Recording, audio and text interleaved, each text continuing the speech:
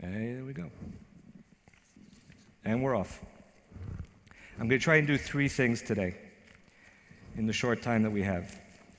I'm going to try and teach a little, I'm going to try and preach a little, and I'm going to try and beseech a little.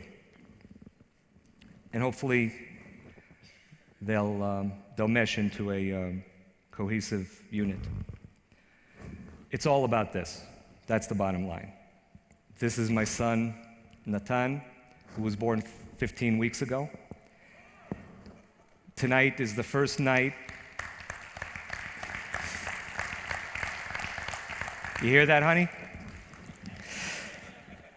Oh, I'm supposed to go like this, right? Tonight, right now, it's the first time since the moment he was born that I have not held him in my arms for a full day.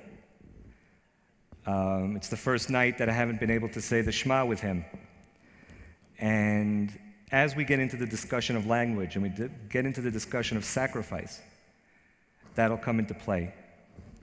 My other two kids, my big kids, Noah on the right and Uriel on the left, Noah is going into first grade tomorrow, and Uriel is going into kindergarten tomorrow.